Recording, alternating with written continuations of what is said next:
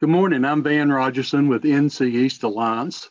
Um, thank you for joining us today for a very interesting topic. I'd like to start off by just thanking our sponsors, if I can just briefly, our platinum sponsors, ECU, Vidant, Integrated Financial Holding, Bull and Associates, and our gold sponsors, Beaufort County, Dominion, uh, Electricities, and then also our silver sponsors, Evolve, Martin Marietta, Port of Virginia, Nutrien, Martin County, Kilpatrick Townsend.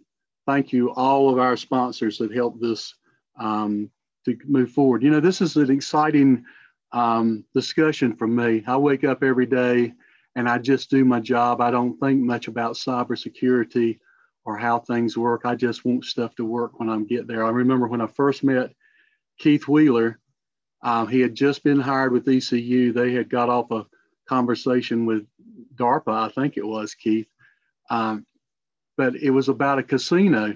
We never heard this story, but the casino had been robbed, and they got what I consider or think would be the Cadillac of all security systems.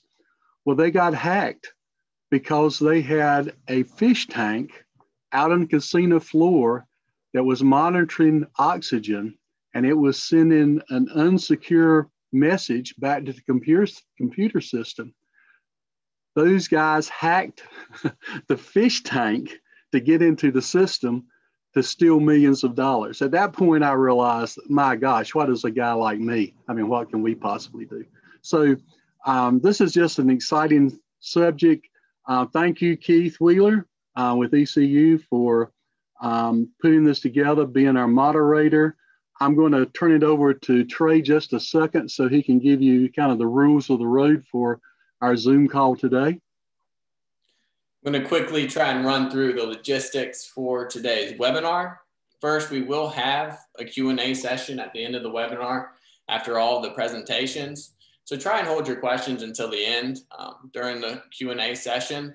Uh, but if out if at any point during the presentations you want to go ahead and submit your question, you can click that Q&A box down at the bottom middle, type in your question and submit it, and we'll address it during the Q&A session at the end.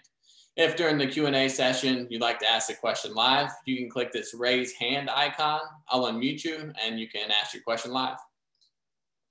We'll also have the chat box available where you can type your questions there.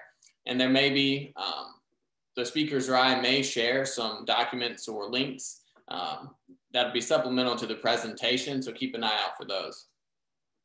And if any point you need to adjust your audio settings during the presentations, you can click this audio setting tab in the bottom left and adjust them. Um, if you plan to ask a question live during the Q&A session, you can also check your microphone settings and be sure they are correct there. If at any point you need to change the size of your screen during the webinar, you can click this View Options tab in the upper middle and change the size of the screen as needed. You can also click these four arrows in the top right of your screen to enter and exit full screen mode if need be.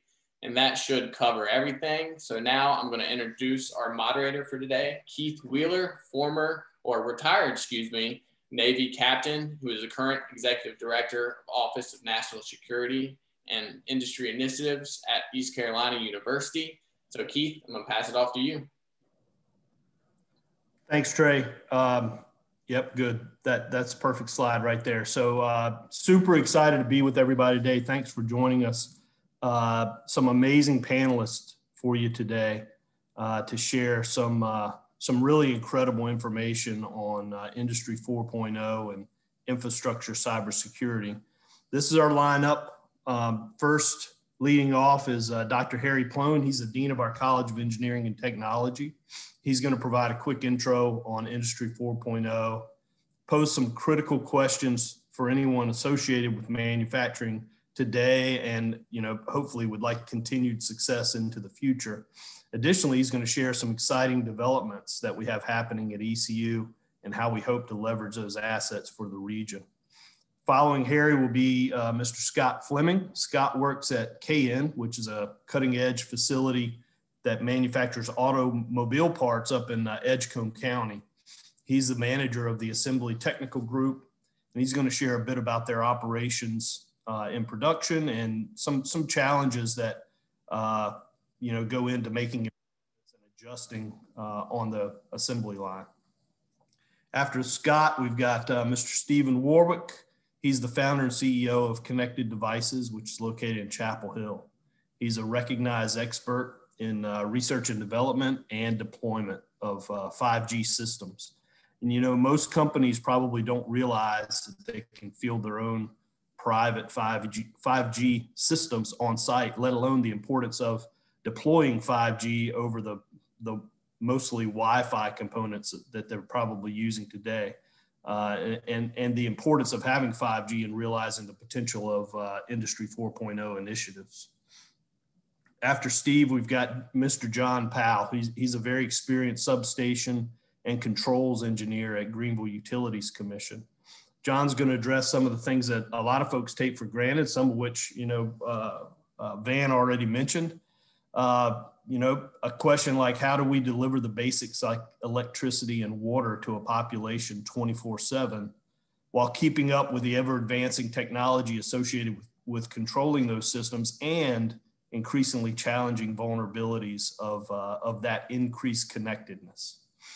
And last but certainly not least, uh, we have Mr. Matt Zimmerman from all the way down in Florida.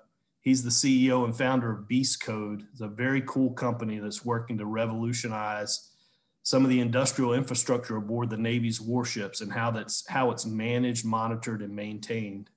Uh, it's amazing to see some of the tools that that Matt and his team have developed. Uh, I describe them as colliding a collision of tech manuals, system CAD drawings, operation and maintenance procedures, and 3D gaming to deliver some really amazing uh, capabilities, hopefully to our sailors very soon. And having spent decades in the Navy on some of the same warships that uh, that Matt and Beast Code are, are working to improve, I can tell you this this these capabilities can't come fast enough. So with that, I'm going to be quiet and uh, turn it over to our first panelist, uh, Dean Harry Ploehn. Take it away.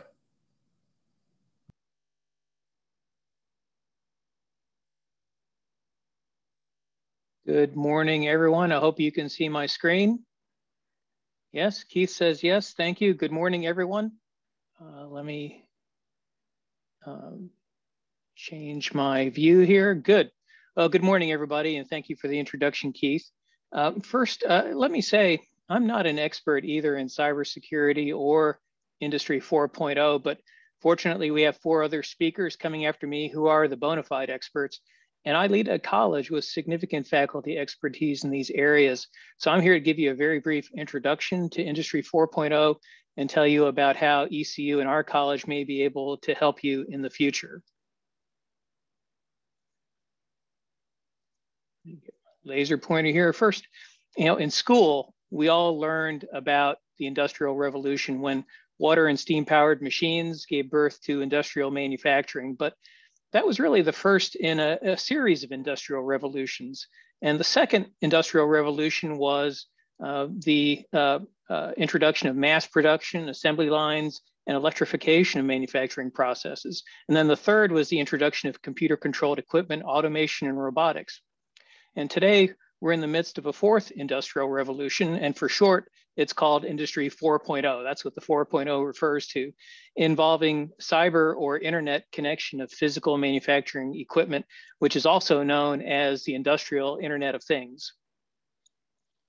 And so the Industrial Internet of Things represents the convergence of information technology and operations technology as illustrated in, in for example, in this diagram. Along the bottom of this diagram, you see the usual elements of operations technology in a manufacturing operation, uh, beginning with the supply chain and the delivery of raw materials to a, to a manufacturing location, uh, the discrete steps in a manufacturing process, and then finally the shipping of products to customers. And IT OT convergence entails, to begin with, the internal networking of individual manufacturing workstations via either hardwired or wireless data networks, and then connection of uh, uh integration uh, of the manufacturing workstations with uh, the MES, which is the manufacturing execution system, and maybe with the enterprise resource planning system as well. And then there's there's beyond that uh, the internal connectivity within a, a, manufacturing site. There's the macro scale connectivity, obviously between customers and a manufacturing site, as well as uh, cloud uh, uh data storage, possibly internet connection with partner manufacturing facilities, and then even connectivity up the supply chain. So the digital transformation of manufacturing not only involves this cyber connectivity, both internal and external, but it also creates a huge trove of data that can be harnessed using data science tools like data mining and machine learning and, and AI, artificial intelligence, to drive improvements in productivity, versatility, and sustainability. So the critical questions, you know, if you're involved in manufacturing in any way, whether you're an industry leader or just an, an industry employee of uh, at, at any level, or if you're involved in economic development, or if you're an educator, you ought to be asking yourself some critical questions. You know, what does the future of manufacturing look like for you? Does it involve digital transformation? The answer to that is probably yes. You know, we're seeing it in higher education, so it's it's it's uh, across all kinds of sectors. And then, are you ready for that future? And the answer is hmm, probably no uh, you you're probably thinking about you know what are the future workforce needs you know, and, and am I going to be able to sub, be supplied with the workforce for the future? What are the equipment needs, both the information technology and the manufacturing uh, equipment technology that are going to be needed for a digitally transformed manufacturing? Where am I going to find the, the training to be able to upskill and new skill my employees to be able to uh, uh, uh, work in this new world. And then, of course, anything that's involving uh, cyber connectivity, uh, one must be worried about the cyber security of that. So I, I, throw out my hands and say, what are you going to do? Are you going to try to do it yourself and figure it out? Or are you going to get help? And, and almost certainly the answer is you're going to do both. So just for myself in getting started, uh, uh, you know, you can go out on the internet and find a, a whole range of reports. They're coming out monthly at least. Uh, I began with this report on uh, uh, Industry 4.0 and discrete manufacturing. Uh, this November 2020 MIT Technology Review is excellent, eight pages on the fourth industrial revolution. I just recently found this one from January of this year on advanced manufacturing using robotics. Um, I'll, I'll, I'll uh, uh, put links. Trey has copies of these, or if you watch the recording, you can Google the titles and you can find them in a snap. But this is a, a great way to get started and to begin to understand some of the jargon and some of the concepts to help get your juices flowing on uh, Industry 4.0 and smart manufacturing. But then beyond that, uh, uh, you're, you're certainly going to want to reach out and get help. And that's where ECU comes in we have a couple of different uh, uh, Millennial Campus strategic initiatives that I'll tell you briefly about, uh, and then go from there. One of them is the Eastern Region Pharma Center, which is focused primarily on pharmaceutical manufacturing. And then there's the Smart Manufacturing and Maintenance Center at Intersect East, which is more focused on traditional discrete manufacturing. First, on the Eastern Region Pharma Center, this was recently announced that we won a, a $1.9 million uh, grant from the Golden Leaf Foundation, and that's being matched with a, about a million dollars of ECU uh, cost sharing to really launch a workforce initiative focused on pharmaceutical manufacturing in the biopharma crescent of Eastern North Carolina. The components of this uh, pharma center are on all the areas that I, I hit at before. We're focused on developing in collaboration with our community college and pharma industry partners uh, uh, uh, basically, if you will, the supply chain for future workforce from K through 12 outreach, uh, uh, making more apparent the degree paths to associates and, and BS degrees, and working on uh, uh, stepping up our game uh, for intensive coaching to help students be aware of the pathways and then be successful as they move along those pathways. There's also a very strong focus on continuing education for incumbent employees uh, on the first floor of that life sciences and biotechnology building in Greenville, there's almost 5,000 square feet of laboratory space that will be an equipment test bed for industry projects. We'll be able to do pilot scale uh, uh, pharma manufacturing exploration of equipment, consult on projects for pilot to production uh, rollout. And then uh, overlaid on top of it all will be a cybersecurity, a cyber range for cybersecurity training. And then of course, we're gonna try to provide networking and connections of a human kind uh, in addition to the IT kind, uh, because uh, believe it or not, at ECU, we did not know it all, and we need to really help facilitate connections between our regional industry partners and the national and world landscapes in this area. The point I want to make is that we spent almost 18 months in developing this pharma center with a lot of preliminary uh, industry input. And so now uh, the next big thing is the Smart Manufacturing and Maintenance Center uh, that, we're, that we're getting ready to begin development of. It will be physically located in the Export Leaf building Uh, uh, uh, along 10th Street in Greenville. And this is a part of a 19 acre development known as Intersect East. It's a public private partnership between ECU and Elliott Sidewalk communities. And the point that I want to emphasize is that this is, we're in the beginning stages of this, and we are really, really hungry for industry input on your workforce needs, continuing education needs, and help in developing a 10,000 square foot equipment test bed. In some more detail, that export leaf building is laid out here.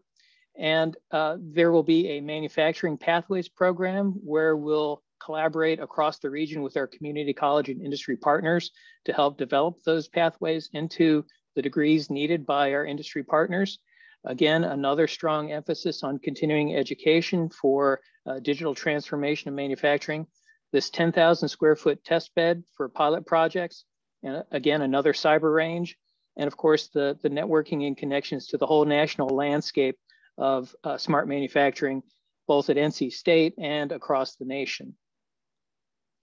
So we have some preliminary plans. We have some ideas about the kinds of equipment that we may want to put into this equipment test bed. We have a preliminary layout. We have uh, uh, ideas about both the cyber range and using AR and VR technology. But uh, really what we're looking for at this point is industry guidance. We really want to deeply understand your workforce needs. We need to understand your continuing education needs and really inform us on the kinds of equipment and space planning for this space that are really going to be able to help us meet your needs in the future. With that industry guidance, then we're going to be able to go out and seek grant funding support to really acquire this equipment and to staff up in the personnel we need to be able to deliver the programs in this center. And of course, you know, we're always uh, have our hand out seeking philanthropic support. So even if you're not involved in manufacturing, but if you're a a big bank or just someone who wants to invest in the future of Greenville and ECU and Eastern North Carolina, we would certainly um, uh, welcome talking to you about generating some support for this endeavor. Now, I, I, must also give a shout out to the Intersect East because we're developing this in partnership with Elliott Sidewalk Communities. So we're gonna be located in this corner of the Export Leaf building, but there's a, a number of other tenant spaces in this building and there seem to be uh, hot properties right now. Greenville ENC Alliance is going to be located in this building as well. So there's this export leaf building as well as an entire master plan for a 19 acre development. And it's really going to be transformative for the future of Greenville and for the future of ECU. Uh, it's centrally located along 10th Street and Evans, and, and the vision for what this place will look like, both the buildings that are going to be constructed and, and the open spaces, the restaurants, uh, the amenities. It's going to be a very uh, uh, enjoyable community to work in. So I would give that a shout out. So, you know, we would invite you to participate with us, of course, in the development of our 10,000 square foot equipment test bed and the Smart Manufacturing and Maintenance Center. But if your vision is bigger and if you'd like to think about uh, another, another location to work on innovation on a larger scale and you need more square footage, Elliott Sidewalk Communities is interested in talking to you. So contact me or uh, go to their go to the website uh, that I show you here, or you know contact me if you can spell my last name or Google it. You can find me. Uh, please feel free to email me. Also, Scott Sneed is our Director of Industry Relations. You can find us on Facebook. You can find us on LinkedIn. So uh, we would be happy to talk to you. Email me and I will help you get connected and ensure that uh, you're able to work with us for the future of uh, smart manufacturing and maintenance um, in, in the region. So with that, I will stop. 12 minutes, not bad. Um, happy to turn it over to you, uh, uh, Trey or Keith. Yep, I'll take it, Harry. Thank you uh, very much. Uh, a lot of information there. Hopefully, uh, we'll we'll get some callbacks and some follow ups. Uh, happy to join in on any of those conversations.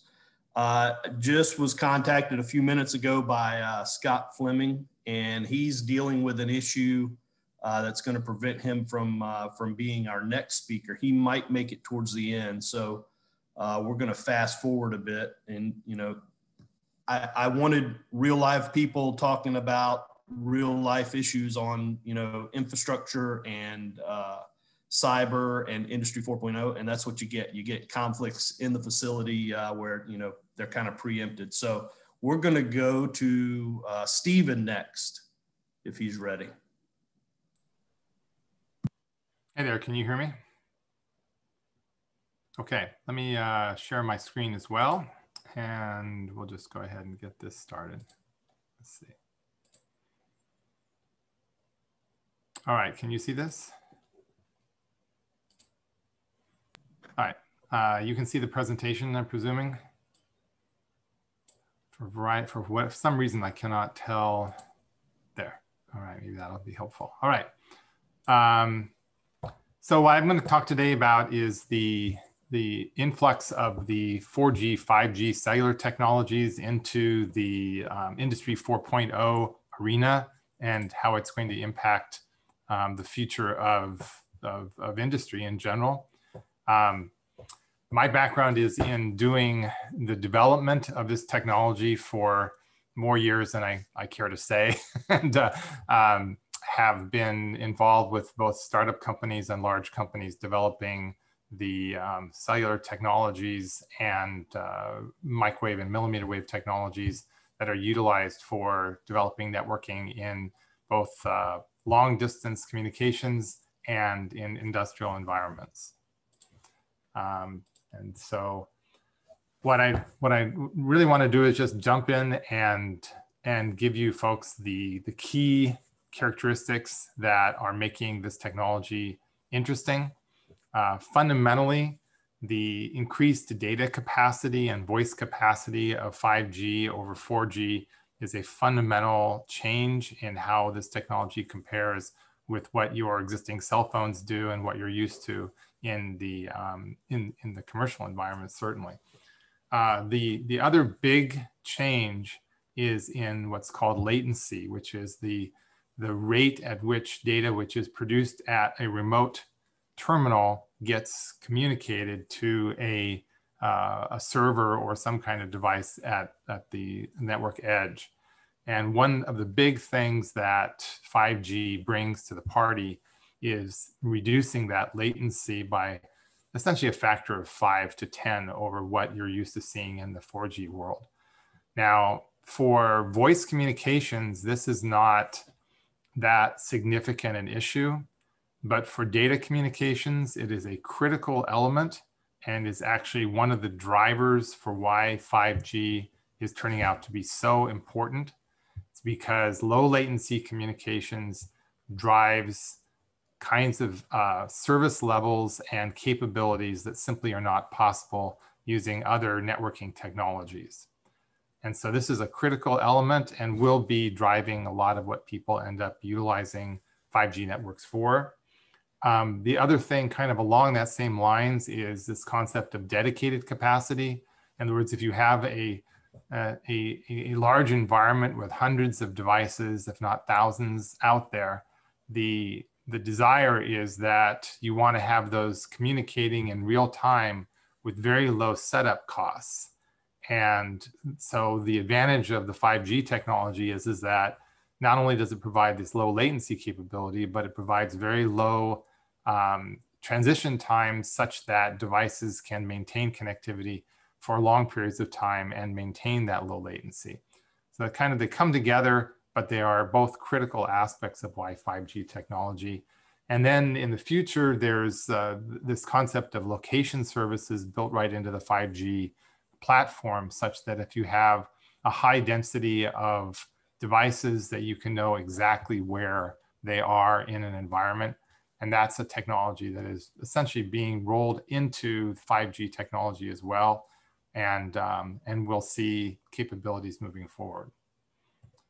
Um, the, the one of the fundamental questions comes for in the in industry 4 4.0 is how does this compare with Wi-Fi?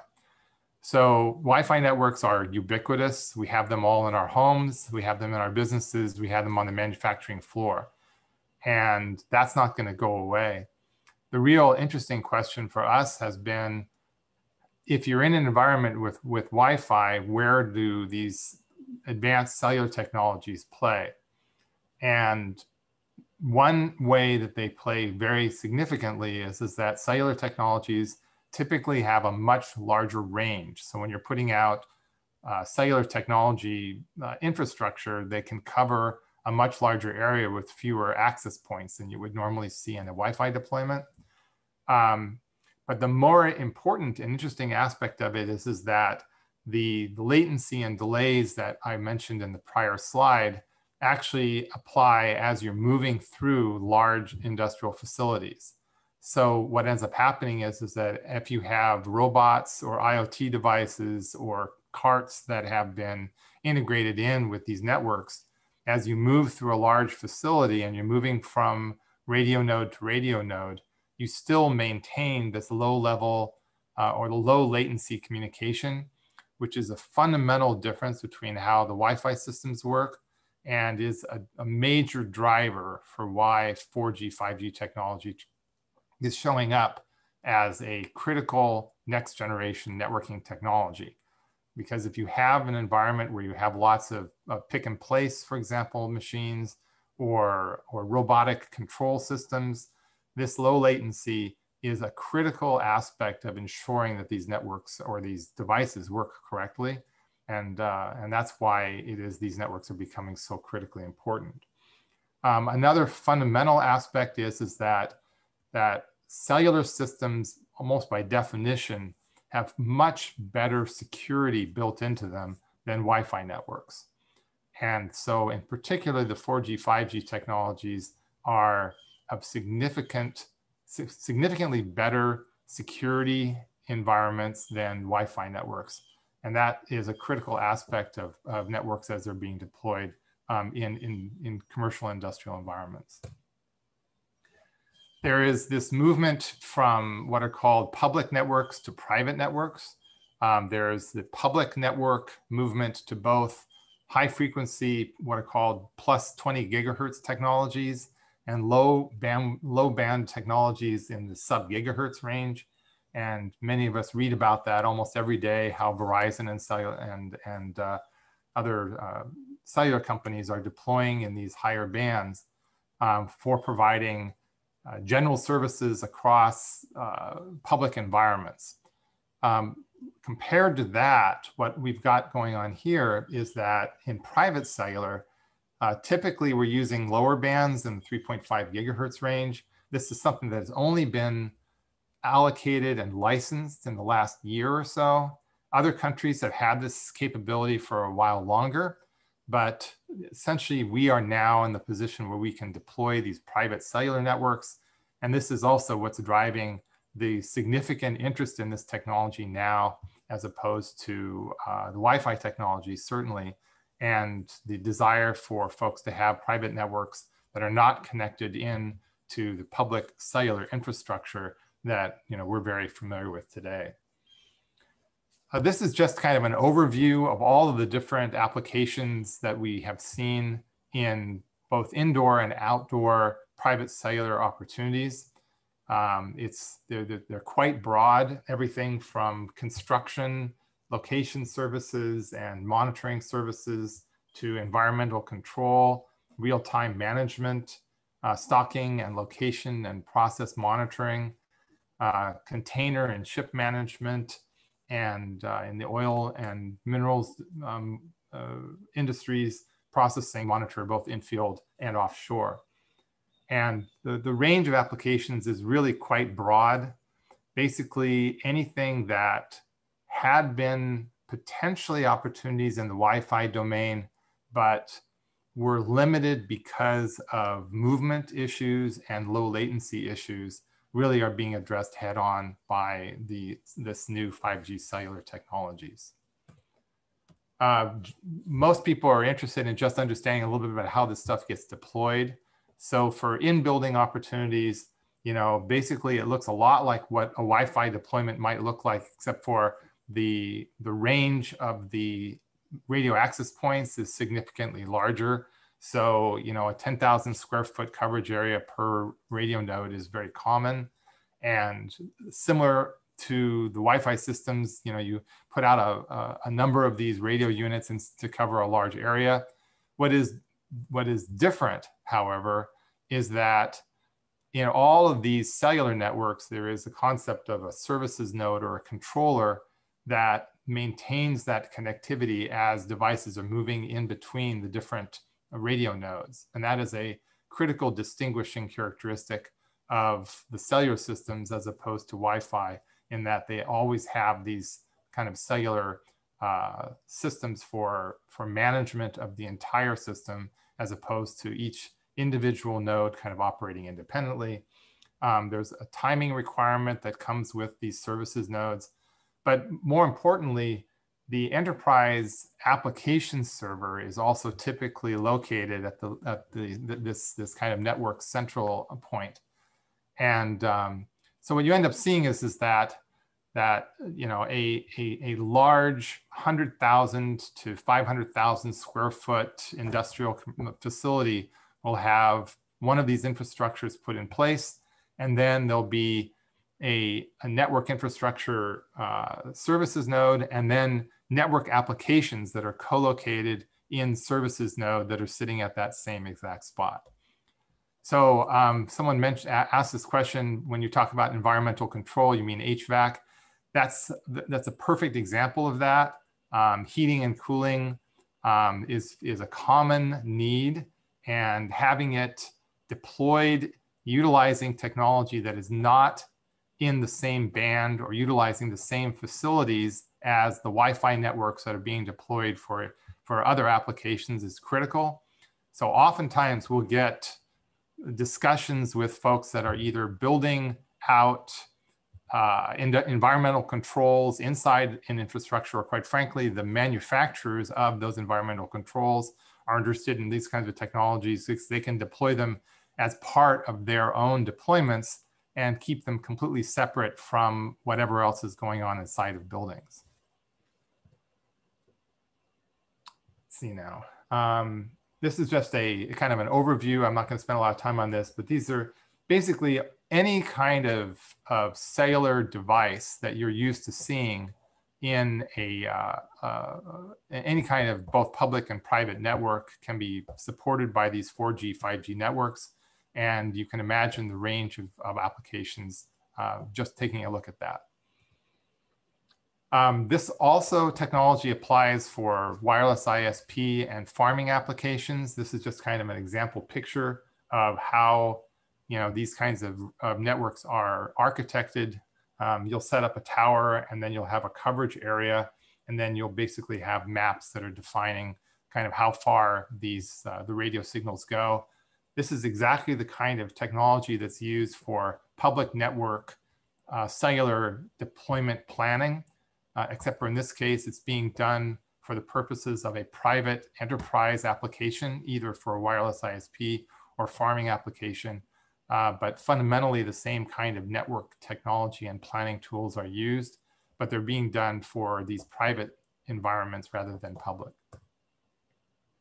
So there's a whole range of different applications I've kind of spoke to a little earlier, but in because this technology actually was already out there in the field in um, uh, in, in outside of the United States, you know, there's been a wide range of deployments that have already been done for for standard kind of coverage areas. In the U.S., there's been some example applications that have been done, but frankly, the applications are only now getting started and, and companies like ours obviously are focused on providing these kinds of capabilities into the private network environment. So this is really what we do. We work with companies that are either deploying this technology in their infrastructure or companies that are developing technology that depend on low latency and you know non-Wi-Fi technology based communications. And we provide kind of the whole gamut of services from the integration of these technologies into their into their platforms, uh, the deployment of the technology in environments, and then the management required to keep these networks operating and running long term. And that's it for me. Thanks, Stephen. Uh, very helpful. It's you know after we we get bombarded uh, hourly on uh, with AT and T and Verizon 5G, you know, marketing. It's good to hear the kind of the other side of the story of. The, let me tell you what's really important about uh, you know not just industrial, but the fact that it could be a private network uh, owned by the company. Uh, to me, that's very very important. So we are going to move to John next. Can you come up, John, please?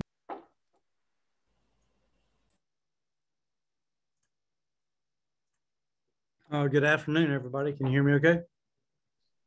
Can hear you, but I uh, can't see you. Can hear you, can't see you. And are you pushing slides yet? Yes, I am. All right. I'll let you know when they come up.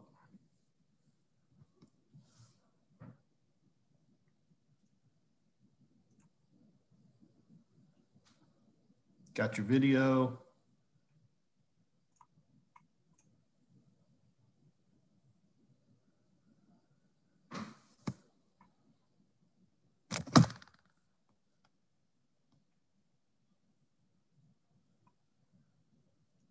Don't see any slides yet. Okay, I'll try to screen share again. Okay. There we go. Thank you. Well, good afternoon, everybody. I'd like to start by uh, thanking Keith for the invitation to participate and to uh, Van and Trey for hosting the event. Um, my name is John Powell, and I'm a substation engineer with Greenville Utilities Commission here in Greenville, North Carolina. And um, uh, my responsibilities that are pertinent to our discussion today are uh, SCADA network administration and uh, SCADA integrations. I've got uh, 20 years of experience in the electric utility industry, and I have previous uh, career experience in manufacturing with Procter & Gamble. Um, so here's our fun fact screen. Uh, Greenville Utilities, or GUC, is a multi-commodity utility. We have water, wastewater, gas, and electric. Um, and uh, we're also a regional utility provider, meaning that we not only service customers as our endpoints, but also other water systems and uh, other municipalities as well. Um, at heart, we operate as a municipal utility and we regard our customers as our neighbors and our friends. Um, in addition to uh, multiple plant sites, we maintain and operate thousands of miles of power lines and pipelines, and we impact the quality of life of our neighbors, you know, almost every minute of every day. And as far as the electric system, uh, just for some size comparisons, we are the second largest municipal electric system in the state and the 43rd largest in the country. So when it comes to infrastructure, um, we've got over a century of experience uh, building it and maintaining it. Uh, and the questions that beg to be asked today are, you know, with all of these miles of pipelines and power lines, how does GUC monitor and maintain them? Um, also, what cybersecurity challenges does GUC face and what are we doing to meet those? And what technologies are likely to be embraced uh, that are similar to Industry 4.0? So the foundational element uh, to answer these questions is found in an acronym uh, called SCADA. And SCADA stands for Supervisory Control and Data Acquisition. So all four of our utilities use SCADA to monitor our infrastructure. And this is from the plant environment all the way out to our most remote assets out in the field. And in order for SCADA to have such a far re reach, we have to build and maintain a very large network. Um, and so whether we're monitoring the state of our power distribution or we're monitoring pressures on gas pipelines, uh, water tank levels for our water supply, or the process of uh, cleaning the water at our wastewater treatment plant. SCADA is the mechanism that gives us visibility into all of our assets and helps us maintain control of all these systems. So SCADA is a rather mature technology. Um, it's been around since the 70s uh, here at Greenville Utilities. Um, uh, because it's far reaching and integrates with almost all of our operational assets, it provides a really good point uh, for us to integrate other systems and use that as a springboard into newer technology. Um, unfortunately, the new technology comes with some risks uh, in addition to the rewards it brings. Uh, chief among those risks is cybersecurity. Uh, many of you probably seen in the headlines from earlier this month that a hacker boosts toxic chemical level 100 fold at a water plant. Uh, this is an attack that happened down in Florida and um, uh, it's gotten some, some headlines uh, mainly because I think nothing really came of it, but the potential for a large scale um, tragedy existed with this hack. Um, so to kind of understand the cybersecurity risk associated with utilities, uh, you got to first understand our posture or where we are now in regards to our history. Um, 20 years ago, each SCADA network for each department was distinct, not only in, in its equipment and its location and the protocols it used, but the people operating it and their daily practices. Um, uh, our SCADA networks had very little involvement from the IT department when they were in their infancy. And most of that's because the best practice at that time was to air gap all of the networks. So the distinction from IT was necessary to a, to a large degree. Over time, there's been some convergence between the IT and OT networks, but it's been, been limited to a degree. Um, now on the OT side, we're challenged with providing a secure network environment. And uh, while OT experts are, while, while OT people are experts in many areas, very few have the training, expertise, and experience to be cybersecurity experts. Uh, one significant hurdle to the IT OT convergence is the way IT and OT professionals see problems and solutions. While there's a different mindset between IT and OT, we stand to learn a lot from each other. And one of the more newer, one of the newer, more significant challenges we face is uh, managing the change for our personnel. Um, convincing your workforce that moving from a eight digit password to a 14 digit password uh, is necessary, but it can be difficult. Convincing them that multi-factor authentication is crucial can be a, a pretty long process. It's necessary to train and educate your workforce regarding the whys of these new cybersecurity policies in order to get good buy-in from. So what has Greenville Utilities been doing about uh, managing the people process part of, of cybersecurity? In 2013, GUC created a group uh, to begin the process of aligning the goals, standards, and strategies of all the various OT systems with our IT department. So now when possible, we, we leverage the same vendors on equipment such as data radios and ethernet switches. Uh, we leverage our fiber network for the benefit of all departments, uh, even though the majority of it was initially put in by the electric department. Um, we work together on writing specifications for SCADA providers and equipment, and we develop best practices that can be applied across uh, all of the department's SCADA systems. Um, as we move into the future, the best path forward um, to mitigate the cybersecurity threat is to have some level, a correct level, uh, you know, a purposeful level of IT and OT convergence. Um, I, I, believe it's time for the engineers in the OT world to begin to ask the IT professionals for, for help uh, regarding cybersecurity. Um, I, I must mention though that the level of convergence must be managed so that the convergence doesn't become its own risk um, here at GC, we have established work groups between OT and IT professionals for this very purpose of having a good mutual understanding and developing that path forward together uh, to eliminate these risks.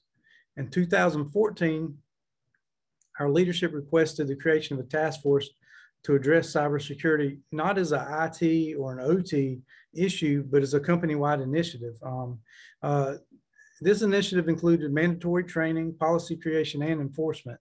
And we are tackling the convergence of IT and OT head on. And I, am glad that we're continually making strides in our efforts to reduce our risk. Um, this task force does have uh, representatives from IT, OT, uh, finance, risk management, uh, and HR departments. Uh, we have great support from our uh, uh, chief executive officer and general manager in the implementation of these new policies. And we continue to make significant strides. It's a lot of work, there's no doubt about that, but it's work that we can't afford to neglect. Okay, as we move into the future, there's some technology that we're uh, looking at implementing here at Green Utilities. Uh, the first one of these is a is a SIEM solution uh, for an OT network. And while uh, SIEMs have been popular for IT networks for some time, uh, deploying them on an OT network is a little different. Um, fortunately, now the technology is available to coordinate the operational data we get from SCADA with security data that we can get from a SIEM. And this will give us some, some, some visibility into our network. So currently, if a piece of equipment malfunctions, you know, we can drill down into the operational data and we can look at it and try to determine the cause. If it's a cyber event, we may not be aware of it because we're just looking at operational data. Um, by layering the security data that we can get from a SIEM on top of the operational data we can get from SCADA, we can tell if the event was a natural event or the result of a cyber event. So here's a for instance. Um, earlier this month, I, have already spoken about the attack on the, on the water treatment facility in Florida. And we're, they were really lucky because by chance, the operator saw the hacker moving his mouse um, across the screen and he saw the hacker change the, the, values on SCADA for the chemical. Uh, but what if the operator had been busy responding to another event? You know, he might have missed it altogether. The cyber attack could have gone completely undetected. Um, but by using a SIEM, the remote login could have been tracked along with the change in value or the control sent over the SCADA system. A simple rule could be put in place to alarm whenever remote logins change values on SCADA. Um, this would have immediately been detected, uh, uh, annunciated, and it could have alerted the operator. And so rather than catching the hacker by mere coincidence or just by chance, they could have been really proactive in their method of detection. So another uh, another uh, technology that's probably been reluctant to be embraced by utilities is cloud computing. Um, and one of the reasons is in OT networks and process control, uh, there's real world uh, effects for anything that goes wrong on your network. Um, so utilities have been a little bit reluctant to embrace uh, cloud computing in, in the process control area. However, I believe that as utilities continue to, uh, continue to collect more and more data, I think you're going to see a migration to cloud computing for analytics and storage. Um, so I, I, think cloud computing is on the horizon for utilities, but I, I think uh, they're they're probably just waiting for uh, to see other people do it. They're waiting for the, the first person to take that step. Um, also, uh, I believe that, that, that, there's going to be some machine learning uh, to have a, a, pretty good sized role in the industry. Um, so for the electric department, we model our system using software in order to, to perform engineering analysis. Uh, water and gas, they do the same thing. I believe we'll begin to see uh, artificial intelligence, machine learning perform comparisons between our modeled systems and the real-time data that we bring back over SCADA. I think this will give the, the, the machine learning an ability to detect anomalies in our model and recommend you know, some corrective actions. Um, I also believe we'll have uh, OT and perhaps IT dashboards in our control rooms. Not only will operators monitor pipe pressures, tank levels, and voltages, but they'll be uh, looking for real-time cyber threat levels, cyber attacks, failed login attempts, and the like in real time. Um, I think this will give us some some visibility that we don't currently have, uh, and and enable us to perhaps provide a quicker response to any kind of cyber event that may happen. Uh, this is my contact informa information if needed. Uh, just like to thank everybody for uh, their time and attendance. Thanks, John. Uh, I appreciate you sharing some really fascinating insights uh, to your world, and you know we all we all depend on all of those services. Like I said, twenty four seven, and not a lot of folks understand what what goes into those. So uh, appreciate y'all all your efforts and and kind of boiling it down so that uh, we can all understand uh, the challenges and the uh, and the impacts of uh, what it takes to to monitor and manage those systems. Um, modeling is a really good uh, segue to our next guest, Matt Zimmerman at Beast Code. So I'll turn over to Matt. Hey, what's up, guys? My name is Matt Zimmerman. I'm the CEO at Beast Code. I have a software engineering background. I'm a huge nerd and uh, I focused my career on digital transformation over the last 10 years. Um, and what that means is being able to work with different organizations and take their data, which is often disparate and has tons of gaps in it, and converting that into 3D interactive data. And we're going to show you some of that product today. Um, before we get started, um, a little bit about our journey. Uh, when we started our company in 2014, we were seven dudes and we had a fold out table. Um, and we just started programming. The first thing that we were building was a analysis app uh, for live fire test and evaluation, where we had a, a model of a ship, uh, and we were working with different warfare centers to get blast data and fragmentation and shock and aggregate that together. And we had 16,000 different hit points on that ship.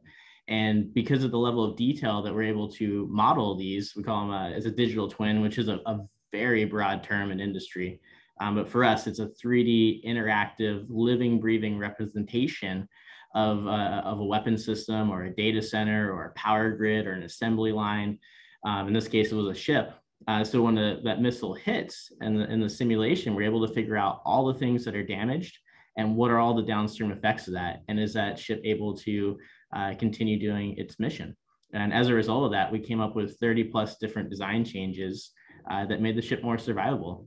And from there, uh, we took that analysis app and we turned it into game-based training so that the warfighter who was sitting through hundreds of hours of PowerPoints was able to actually have a game-based environment where they could actually walk around and again, use that living, breathing representation of their weapon system uh, and have familiarization of it and uh, actually operate it and maintain it.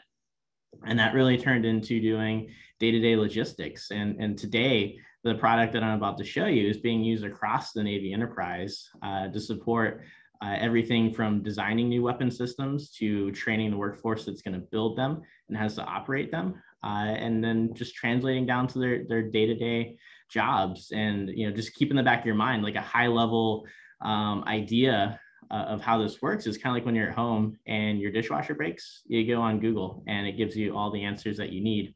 It's the same type of capability that we're we're giving the warfighter. So I'm just going to share my screen and go over this for five minutes with you guys.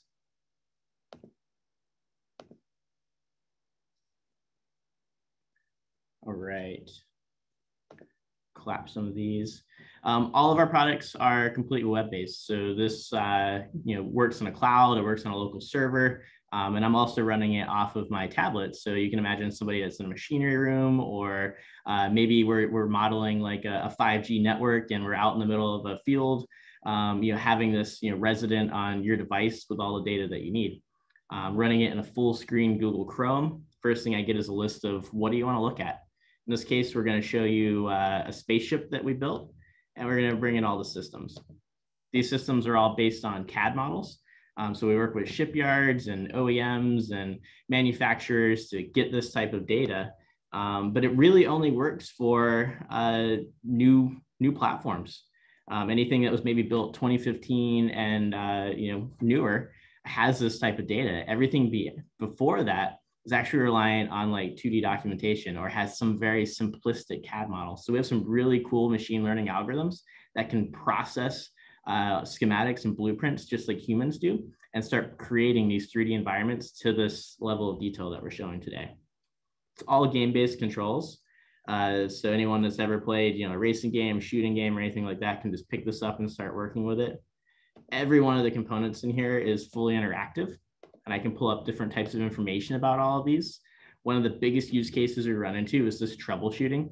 The amount of time people spend, uh, you know, walking to uh, the actual thing that they need to maintain or troubleshoot um, to understand what the problem is and going back to their office or, or, wherever their tech docs are stored to find the paper documentation that they need to go through. Um, going back through that, going back to weapon system, back and forth and back and forth. People spend hours every day just locating the data that they need. And with our product, they can simply click on it and it has all the configuration data, all the parts data, all the serial numbers, things that they would need uh, to do their day-to-day jobs. It integrates with uh, product lifecycle management programs uh, that store that type of data. And it also links with things like condition-based maintenance and predictive analytics, uh, like was talked about in a few of the other presentations, being able to use this data uh, to analyze like real-time sensor readings so that we can identify when things are gonna fail and notify the correct people. Right now, all of these uh, system colors in here uh, are just based on like uh, different colors of pipes, you know, differentiating what the different systems are. Uh, but because it is living and breathing, uh, every one of these components has behaviors behind it. So we can change to what we call static flow. And that really just shows the alignment. Everything that is blue is on and operating, getting all of its support services. Everything that's yellow is off or closed. And you end up getting this white color uh, where we close these valves to indicate that there's no flow to show what the alignment is. And none of this is like pre-processed in a database somewhere. We can actually click on any of these components and change the states of it. So we'll change the state of uh, this valve. And we can see exactly immediately what effect that has on all the fluid systems, the power systems, the network systems, air systems. Um, and in this case, it's a small example that we're showing for the demo. But when you're looking at something like an aircraft or um, an aircraft carrier that's the size of a city, um, or you know a data center that's miles long, a refinery oil rig, um, you're getting that same type of responsiveness. And this is where people get really excited because from like a maintenance perspective, being able to see what happens when I change the state of something, or if I need to ensure that there's no electricity going to something, having this as a decision aid to be able to support those things are, are done today just with 2D documentation um, being able just to speed up all that and to be able to optimize the decisions that are going to be made. The other cool thing is linkages to all the tech manuals. So we showed flat data before, but also being able to access all the schematics. Again, this is all done with machine learning. So we don't have a dude for every uh, um, weapon system we're working with going through and tagging pages and components to the 3D model. Um, that's all just done with algorithms. Um, it creates these cool hyperlinks so we can click on any of these components and zoom right to them. So you can easily trace out any of these diagrams. And we also have what we call the avatar mode, where we can view this from a first person perspective. So uh, we were looking at all the pipes and the power, um, you know, kind of like x-ray vision looking into the spaceship, uh, but we can also jump right into the spaceship itself or uh, maybe in a hangar or maybe you're in a data center or in an assembly line um, and be able to view it from a different perspective, but still have all the same data that we were showing you before. We can still pull up different types of information and we still have links to all of the technical documentation uh, that a, a maintainer or troubleshooter would need. And we clicked in the schematic that we wanted to view um, the pump and we get this GPS Google Maps style, hey, you're in the bridge, this is the fastest route to get to that pump. So you can imagine when you're on something like a, a ship uh, that has thousands of components and you're just looking at a jungle of pipes, um, having something like this is just gold. And from this perspective, being able to communicate um, things that you're going to do. We're going to do a maintenance activity day. So these are all the things we need to go through, or we're going to rip this tank in the back out here, and this is the best path for taking it out. Or we had some type of a casualty, being able to walk back through what happened and how we should have actually reacted to that. But my favorite part about our application is really just how everything's linked together. So this was the pump that we were looking for. I can go back to the tech manuals and uh, pull up that same schematic and jump to the, the next component, which is a valve, and go right back into the 3D viewer. So having a high level visualization of um, the thing that you're working on, all the pipes, all the power, having all the components linked to the data that you need to troubleshoot it and maintain it, having uh, the living, breathing representation of it so you can actually interact with it and see what's going to happen, being able to jump into your schematics and manuals and then into a first person's perspective um, is just a, a, crazy capability. And all of it uh, is just residing in your browser. So you don't have to install it anywhere. Your users just go open Google Chrome, go to the correct URL, and you're accessing this data. And that's it. Thank you guys.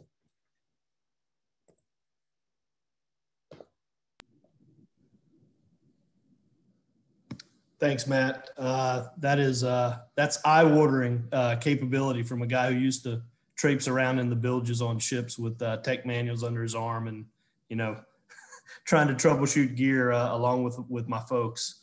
Um, so I think uh, Scott may not be joining us today. So I think we've we've really ended uh, our our speakers portion. So uh, we're moving into the Q and A, and uh, I'd like to open it up to uh, our guest participants uh, to ask our speakers some questions.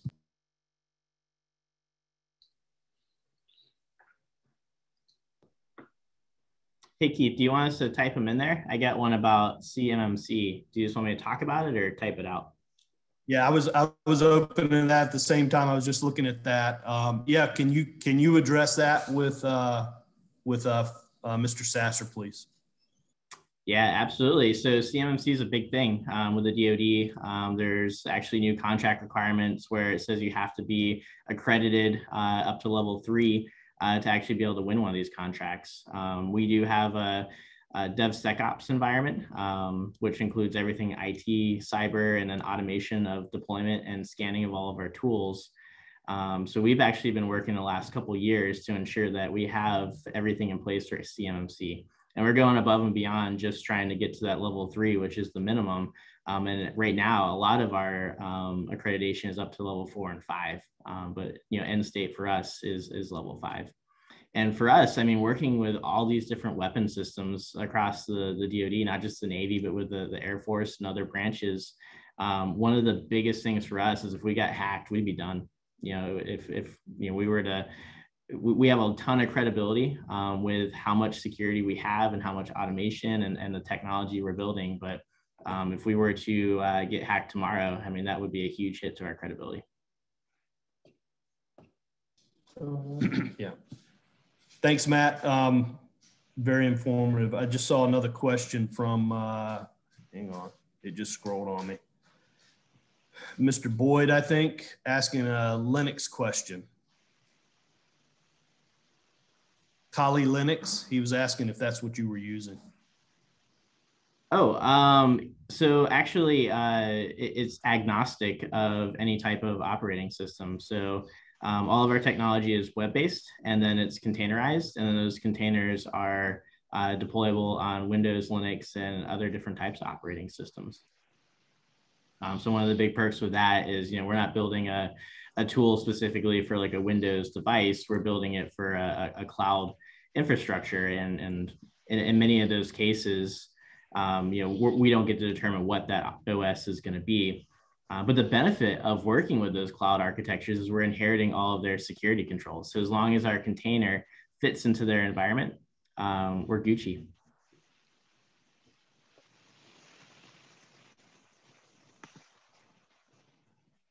Thank you. Oh, I see Van popping up. Um, do you have a question or do you want me to keep going? No, I've got a question that I've heard quite often, and that is, can our rural manufacturers remain competitive in a 5G industry 4.0 environment? Is uh, let's let's start that one with uh, with Stephen, please.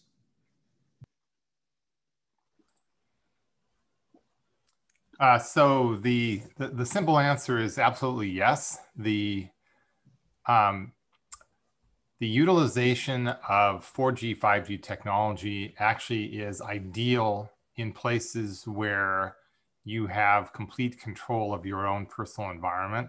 So rural environments actually turn out to be perfect for these applications. And any place where you have kind of an enclosed space where you have control over it is really the ideal for in for 4G, 5G technology. So we we often see folks that own large industrial facilities that are in either on their own property or in industrial parks um, work just fine with this because they can control it themselves and they have the ability to optimize the deployment around their particular needs. Thanks, Stephen. Mm-hmm. Uh, hey, John, do you have any uh, comments? I mean, you're about as uh, you're you you have to deal with both an urban and a rural and rural locations across the uh, the GUC enterprise. Uh, any comments on on Van's question? Um, well, for us, uh, it, it, came down to us uh, building our own fiber network out. Um, and we found out that uh, we weren't the only people that needed it. So uh, we actually lease uh, dark fiber to uh, several different uh, entities in the county. Um, and for, for us, that's helped to defray uh, a small portion of the cost of putting the fiber in, but but but not really. Really, we've leveraged it for our own capabilities, and uh, it, has been one of the best things we could have done from a communication standpoint. Um, I really think that the rural areas are going to be dependent upon, uh, you know, the telecommunications carriers doing it, and I really think there's going to have to be some uh, really strong lobbying for the government to subsidize it. Um, I just don't think you're going to. Uh, I don't think the profit center is there for them to do it by themselves. Uh, so I think I think they're going to have to be uh, uh, enticed to do it uh, through government subsidies.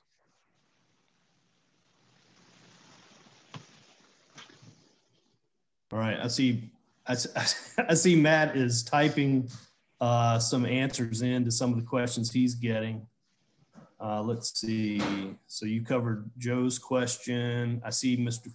Pfister.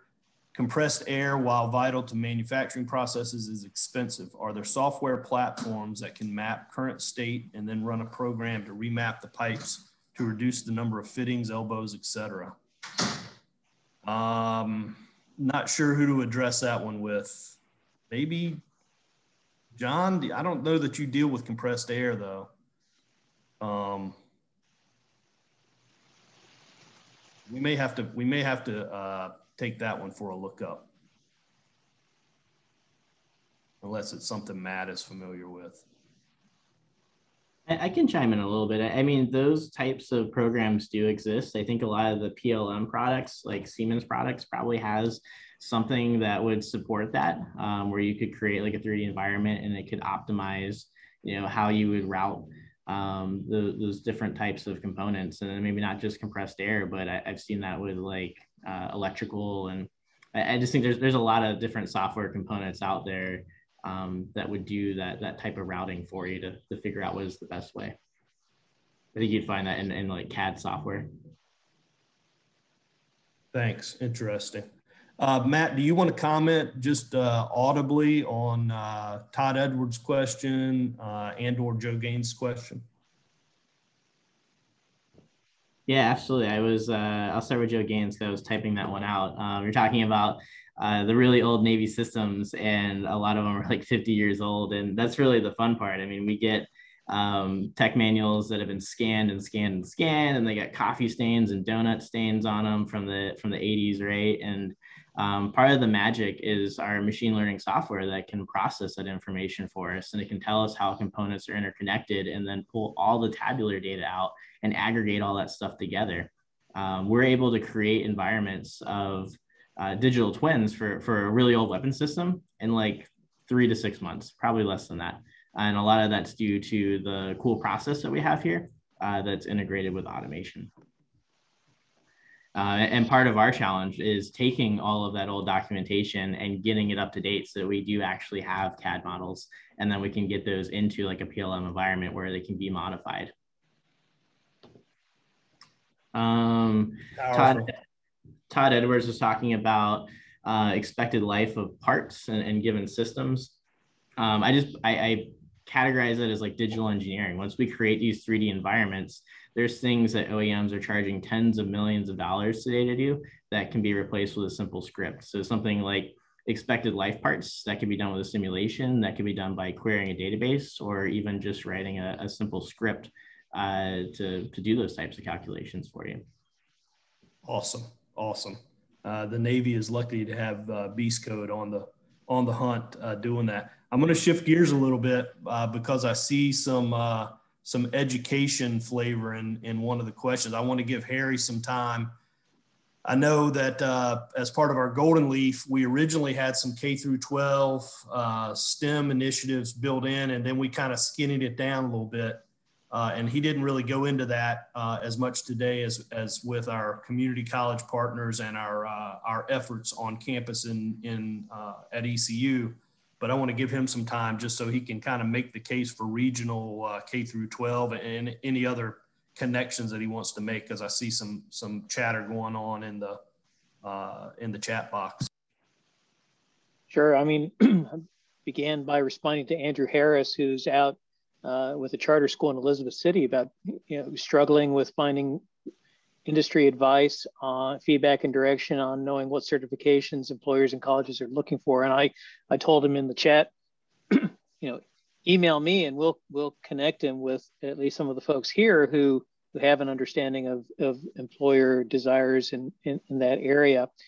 And, and it points to you know our strategy for uh, trying to uh, improve the workforce pipelines pathways is a is a regional one where we really uh, are aiming both in the pharma area and in the advanced manufacturing or smart manufacturing area to have geographically distributed uh, and focused collaborations with community college partners and industry partners in a local region.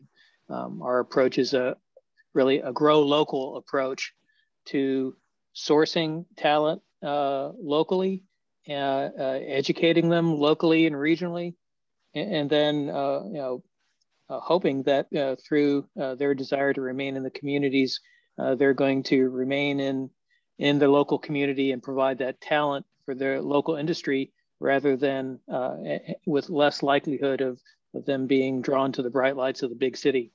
Um, so you know what what we're what we're uh, uh, doing is in addition to having the BS programs here on campus in Greenville, uh, working uh, through our BS in industrial technology, which is a degree completion program that can be done via distance education, uh, working uh, to be able to reach students in place.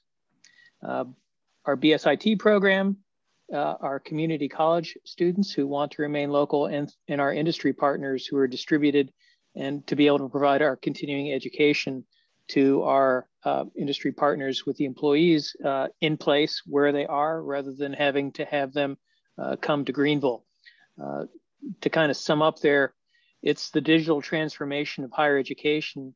All of the equipment in both of the equipment test beds are going to be inter- industry, industrial Internet of Things connected. And it, it represents digital transformation of our educational process to be able to reach our um, students uh, at any level in place where they are so that they can actually not just take courses, but uh, do uh, real hands-on uh, engagement with real equipment uh, from a distance. And so that's that's the direction that we're going with that. Keith, I don't know if that's what you wanted me to say or what you were yeah, doing me to yeah. say. That's perfect. Thanks, Terry. Um, you know, we're all we're all passionate about in, engaging our region and uh, and improving opportunities for everybody who who lives here. And we've got all these wonderful manufacturers. Uh, as Van hinted, you know, some of them are fairly rural, uh, but as Stephen reinforced, you know, with these new technologies, that is actually an advantage in a lot of ways uh, for this for this industry 4.0 revolution that we're and i keep hear, hearing people talk about it's coming but i keep reading about things that indicate no it's pretty much here and you better get on board so it's it's i think this is very good uh, very good timing um, you know it, it's that k through 12 piece is so important we can we can help industry find you know workforce today but but that seed corn starts so early now with uh, so many of our students in the region. Um, and let me let me chip in on that, Keith. You know, yeah, go ahead, go ahead, Aaron. It's it's difficult for us to sort of do K-12 outreach at a distance from a central location. So this regionally, geographically coordinated approach with local community colleges to partner with local industry and the local community college to do the K through 12 marketing and outreach in the local schools in in whatever county we're interacting with. with um, that's that's the, the the best way and the most effective way to reach reach those uh, students and their families early on to uh, develop that pathway and make them aware of that pathway so that they know step by step how they can get there whether whether it's graduating from high school and going right to work and continuing their education in a community college while they're employed or uh, or at the other extreme uh, making a decision to go to to, for example, ECU to be on campus for one of our programs. Yeah, that that flexibility is so important. It's been very encouraging to see uh, see what was built for the Eastern Region uh, Pharma Center and then what is going to be to come uh, for additional capabilities uh, on campus. But but connecting those uh, different remote locations around the region so important. Um, one more one more shout out, Keith. You know, to anyone who's on the call, there's I see 73 participants. So you know whether you're a parent or you know an employee or an industry leader or an economic developer, you know there's there's different touch points for us to engage with you and help you. So uh, please, anyone who who would like to have any uh, assistance, no matter where you are and what your situation is, you know, to reach out to us. Perfect. Um, the what what we see from our uh, many of our industry partners is that uh, that they will either provide tuition or tuition reimbursement in some cases, uh, so that their employees can can continue on these pathways and making it remote so that they don't have to travel to classes in Greenville is very important. Same for our military partners in the region. We're the largest military personnel footprint east of the Mississippi River. Uh, we're in a phenomenal position, uh, and so many, you know, very skilled professionals uh, are right here in our area. And the military, be it the Navy, Marine Corps, Army, Air Force, uh, Coast Guard, Coast Guard, they all offer tuition assistance uh, through their services. So uh, even while they're in uniform, they can still take some of these courses. In fact, the the the bachelor degree in industrial technology that Harry referenced is our has our largest active duty population taking those courses remotely uh, around the globe. Um, uh, that's the largest active duty population of any ECU program, uh, but they're stationed around the globe, and that flexibility and adaptability is uh, is very uh, helpful to keep them on those pathways. Let's see. Any other questions, Trey? Are you backing me up? Have you seen anything that popped in that we have not addressed yet? I believe all questions have been addressed right now, but there was one question answered by Stephen earlier that I was hoping he'd be able to address live. Stephen, it was the question in regards to 5G and if there were any potential health risks um, and re- related to 5G. You had an excellent answer to it, so I'd like to address that. Yeah, sure. Um, so we all live in the planet and we all have seen a number of folks across the country and across the world uh, basically asking a fundamental question of whether these 4G and 5G technologies are health risks. And it's gotten to the point where groups have formed and people have been you know, trying to burn down towers and all kinds of horrific stuff around, you know, this whole area of, of wireless technology and its impact on, on, on human life.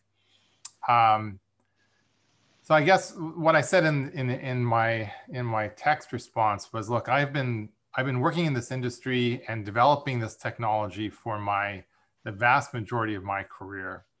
And that means being up close and personal with wireless transmitters right, you know, literally on my lab bench, working full time in this technology. And also spending many years in school learning about it and becoming an expert in the technology across the board.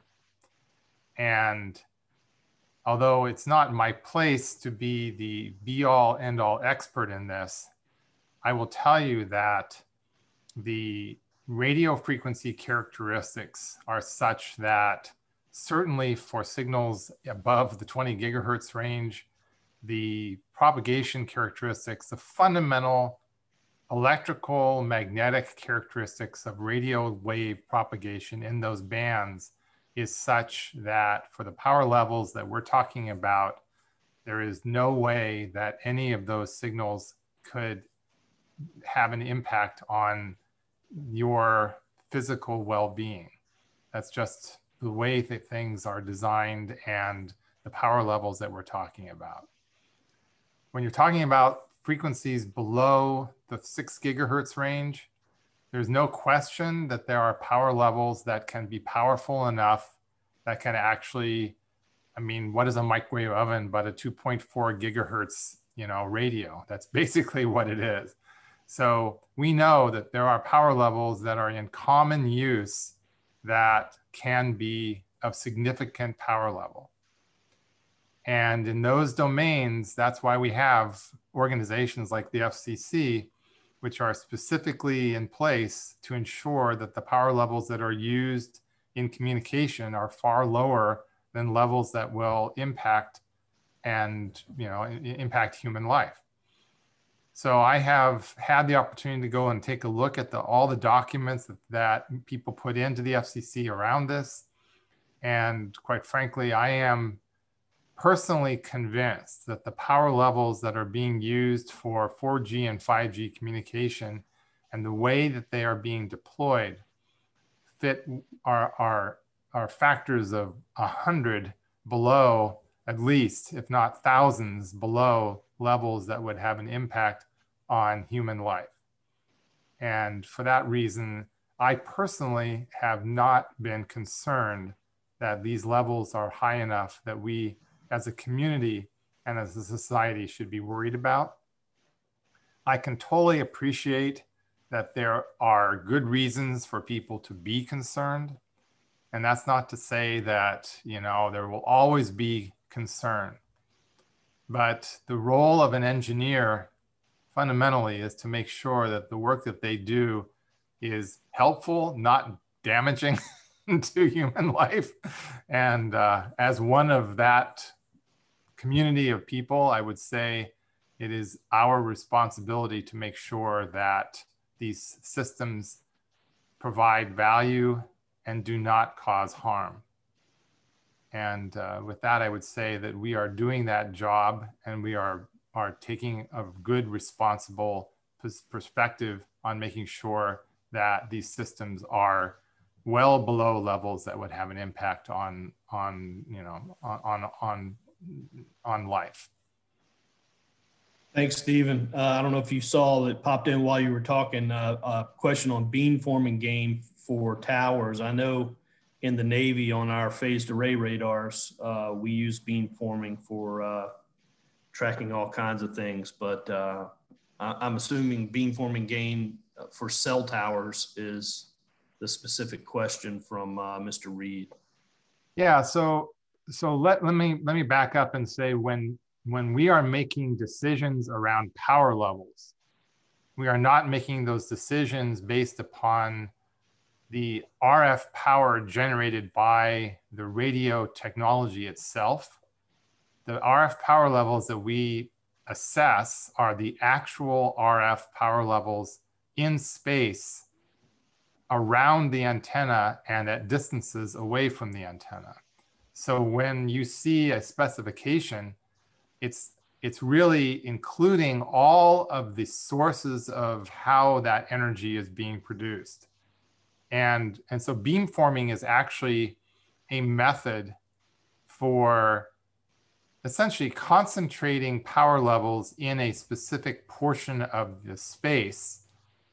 And the amount of energy in that space, again, is a function of how much RF power is being presented to the antenna and how much concentration the antenna does in terms of how it focuses that energy in one particular area. But in any of these cases, the measurement that is being used and the assessment that is being used is being made outside of the antenna. It's being made at a certain number of meters away from where the antenna itself is and incorporates both the beam forming and the RF power that is being presented to the antenna. So the total power that is being that is being deployed in an environment is what people use for assessing power level. It's not before a beamformer or after a beamformer. It is total power. And that includes both the RF power being generated by the transmitter and whatever antenna technology is being used as well. It's not, you can't get around the spec of how much RF power is actually in space at some distance away from the antenna source. Wonderful. Thanks, Stephen. I saw uh, Ms. Williams just uh, posted a question about uh, SCADA systems. Harry, can you see that question? I think that one uh, is directed to you.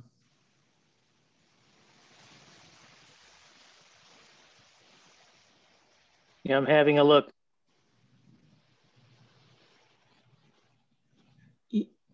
I think she's throwing you a softball. Yeah. Uh, well, the answer is yes. uh, yes, yes, yes. Uh, so we, we certainly are are involved uh, in uh, SCADA systems. I don't know that we call them that by name, but I certainly have faculty in our Department of Technology Systems who can help. And then we have our colleagues at PCC who we can connect you with. So uh, yes, in terms of uh, these kinds of systems, uh, our, our technology systems faculty are, are all, all over this. Thank you, sir. Okay, uh, Van, yeah, we are at, I think, my time that's been allocated. So I, I want to thank again our guests, Harry, uh, Stephen, John, and Matt for taking the time to share some just enlightening points and tying a lot of things together uh, for us. I hope the the audience uh, feels the same way, and you know potentially we could we could have a follow up uh, discussion of this nature uh, in the future. But uh, for now, I'll turn it back over to Van. Well, thank you to all the participants. Thank you for to the panelists. Um, this has been a great discussion. I think there are a lot of other opportunities that we could have follow up webinar discussions on. Um, we have another, our next webinar is next week, the future of retail post COVID. That ought to be another interesting topic that we have. Uh, but particularly thank you to Keith and all the participants for participating today. And I hope you have a good day. Um, take care. Thanks. Bye bye.